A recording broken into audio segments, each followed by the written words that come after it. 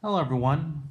Today's devotional reading will be from the Gospel of John, chapter 19, verses 25 through 27, where it is written Meanwhile, standing near the cross of Jesus were his mother and his mother's sister, Mary, the wife of Clopas, and Mary Magdalene.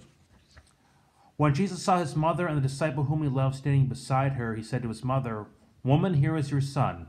Then he said to the disciple, Here is your mother. And from that hour the disciple took her into his own home. This is the gospel of the Lord. Praise to you, O Christ. This beloved disciple, by the way, is John. So Jesus, obviously, he knows he doesn't have much time left. Yes, he'll be dead very shortly. But then arise from the dead. But 40 days later, he's going to ascend to heaven. He won't be around anymore, take care of his mom. And Joseph had died of natural causes by that point. So, in this culture, a woman by herself, mm, you're in trouble. So it says, John, take care of my mom. It's your mom. Mom, this is your son, John. From that moment on, John and Mary were, de- I mean, they lived together like mother and son. So we see, even on the cross, even as our Lord knows that he's about to die, to forgive the sins of the world. Surely thereafter he's going to rise again to start restoring the world to the right relationship with God.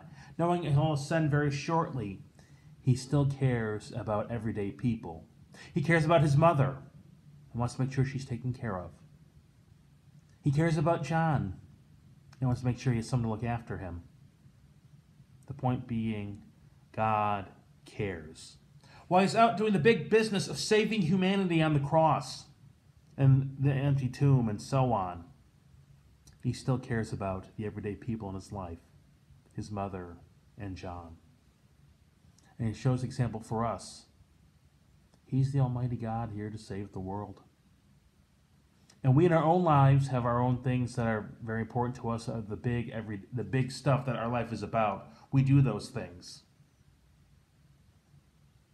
And, and also, as we're doing these big things that we're meant to do, we have a daily life. We have family.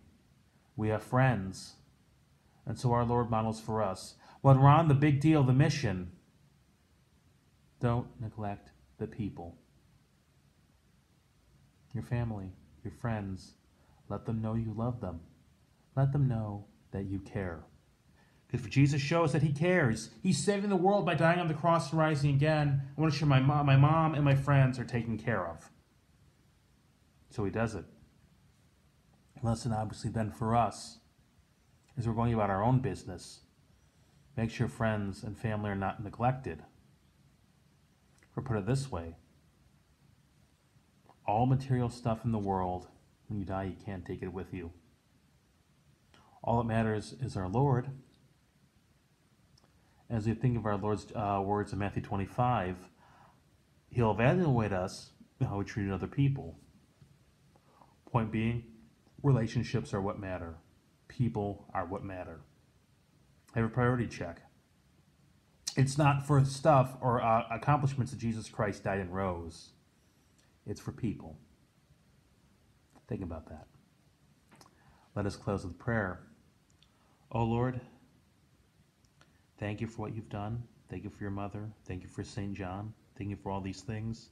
God, help us to always put people first over accomplishments and things. Amen.